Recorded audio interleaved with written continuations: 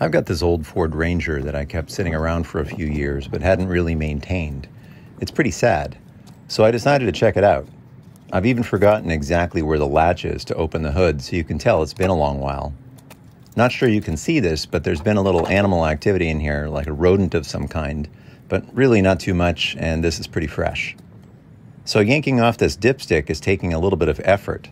They say this usually happens because the seal on the stick around the top has dried out a little bit.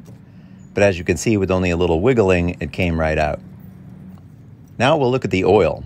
It's pretty much dry, but what is there is pretty dark brown. So that's what happens when you leave a car hanging around for a few years.